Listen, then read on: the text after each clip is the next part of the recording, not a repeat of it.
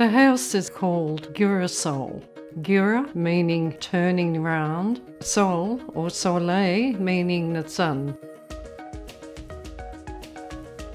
The house is like a rotisserie. It rotates 360 degrees.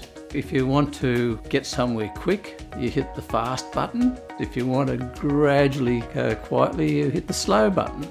So we can turn it clockwise or anti-clockwise.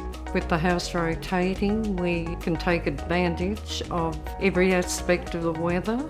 In summer, it can run in front or behind the sun. In winter, it's programmed to follow the sun. In doing that, the house becomes very energy efficient we can use the house to take advantage of the beautiful scenery we have to the front. And we can turn the front to the back of the house, which in summer is giving us a beautiful outlook to the alfresco area in the garden.